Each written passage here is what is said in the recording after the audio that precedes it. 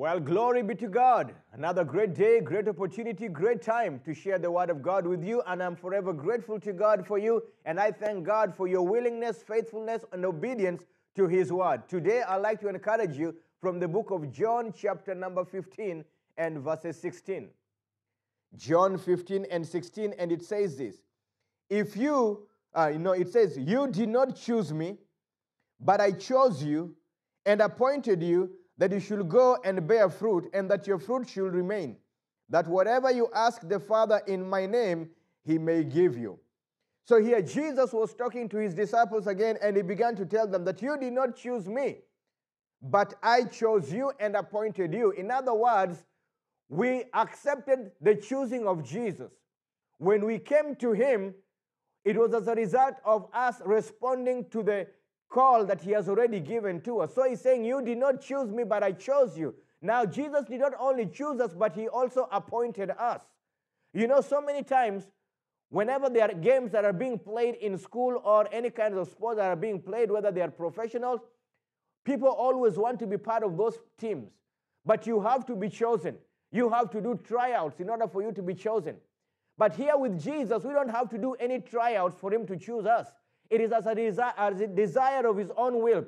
He desires to choose us. He desires to call us. We don't have to qualify in any way. He qualifies all of us. Therefore, He chose us. We did not choose Him. And then He appointed us or He already ordained us. In other words, when He chose you, He already set something in you for you to be able to perform.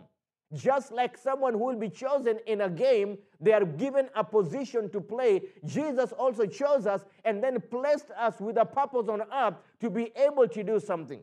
Then he goes on to say this And I appointed you that you should go and bear fruit. Now we were appointed to be able to go and bear fruit. Not just bear fruit, but go and bear fruit. In other words, Him choosing us and Him appointing us already put us in motion. We are not supposed to be stagnant believers, we are supposed to be motion believers. In other words, we should be on the move as believers. So Jesus is saying, I chose you and I appointed you that you should go and bear fruit. Go where? Go into all the world and make disciples. In other words, everywhere you go, bear fruits of the kingdom of God. Plant the seed of the word of God and let the seed fall into good ground that God may be able to bring forth a harvest from the seed that you are sowing. And therefore, Jesus is saying that you may go forth and bear much fruits.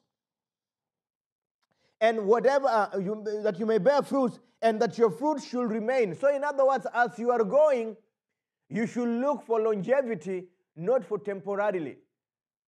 So, you are going out because you've been chosen and appointed, and whatever you are doing, the gospel that you're, pre- uh, you're presenting to people, the discipleship that you're making should remain. In other words, your end result is this life ought to be transformed. This community ought to be transformed. This family ought to be transformed. It is not just to be seen, but it is both to be seen and to be heard. And therefore, your fruit should remain that whatever you ask the Father in my name, he may give you. In other words, God, uh, God wants to give you everything he has, but Jesus is saying, I am the agency that the Father will give you everything that he has if you will stay with the appointment, having chosen you. And if you go according to my command, then if you do so, then whatever you ask the Father in my name, he will always give it to you. Why his name?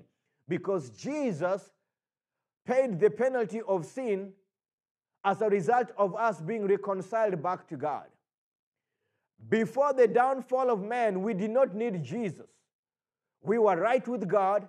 We did not need Jesus until in the garden of chapter 3 of Genesis, when man was deceived. And that, that particular time, then we did not have direct access to God. We were separated from God spiritually. And as a result of that, we could never be able to approach God without the blood. That's why there was always a blood sacrifice that had to be offered so that we can be able to be appeased in our minds to be able to fellowship with God. So Jesus came, He shed His blood once and for all. Now we ask anything in His name, and it shall be done unto us. Therefore, I'd like to encourage you today ask the Father anything in the name of Jesus as you continue to work out the appointment He has given to you. And as that fruit continues to remain, the Father will honor the name of Jesus. Stay blessed and have a wonderful day.